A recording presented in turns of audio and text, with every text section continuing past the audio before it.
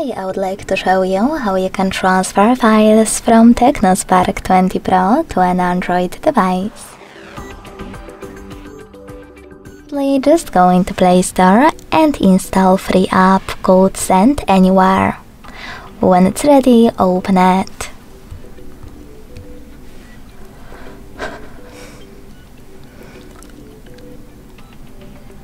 Now to use it, you need to set it up by tapping on the same options in both apps.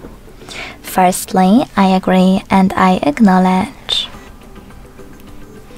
Then confirm, continue, and allow. In this window about new updates, you can select Not Now and close it right away by hitting OK.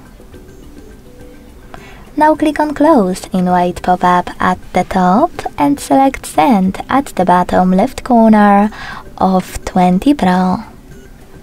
Then Receive right next to Send at the bottom of an Android. Also on TECNO, using all of those categories available at the top, you can pick multiple files to transfer. I will go with only couple of them just for example. When you finished, hit send next to selected at the bottom.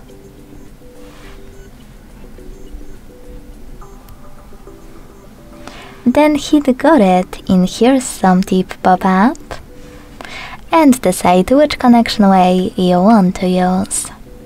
To connect by inputting this key, click on Input Key section, type in all of those numbers in correct order and then select Receive button.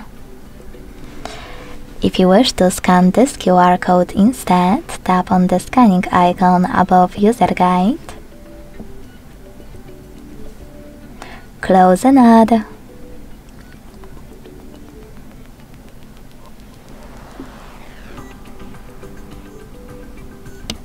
Allow camera access in the pop-up and point it at the code.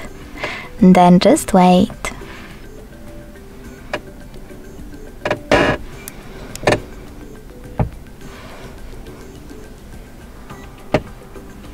As you can see, after a couple of seconds,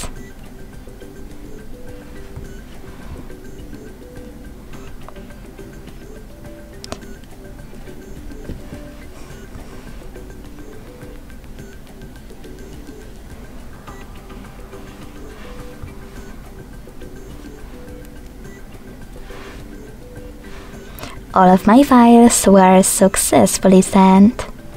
Thanks so much for watching. If you enjoyed this video, don't forget to leave a like, comment and subscribe. Bye!